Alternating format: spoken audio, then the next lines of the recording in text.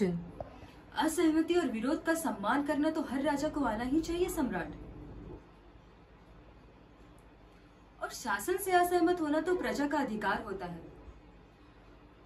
और असहमति तो हमेशा नई दिशाएँ ढूंढती है सम्राट।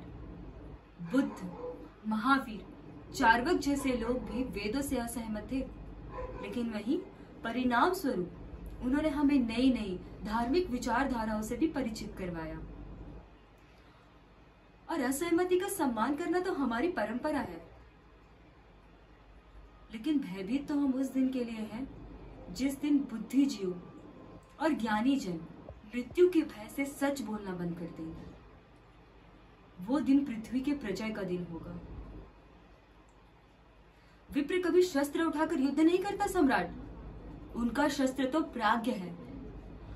और अगर एक विप्र संपूर्ण शस्त्र का निर्माण कर सकता है उसका विनाश भी तो कर सकता है ना?